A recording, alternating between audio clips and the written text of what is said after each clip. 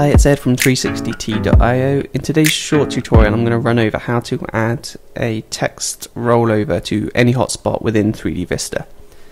So what we'll do is we'll start off by putting in um, a hotspot.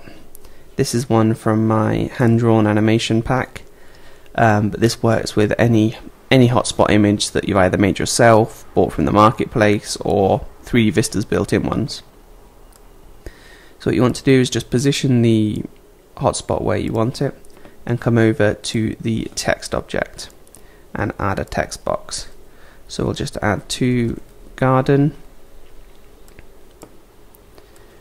using 3DVista's built-in tools here we don't get a ton of options but we can change the color and the font um, and it's a great way just to do this nice and quickly you can obviously do the same same thing in in Photoshop, but this is a lot faster.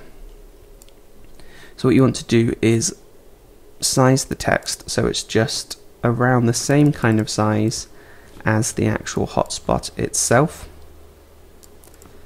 Just zoom in a little bit here.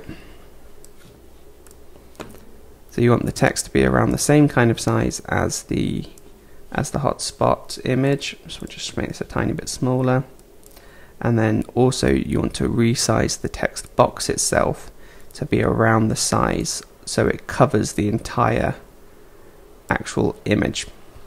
So whatever size the actual hotspot image is, you want to make sure that this box extends fully over it. So with the text layer selected still, click here to visible on rollover.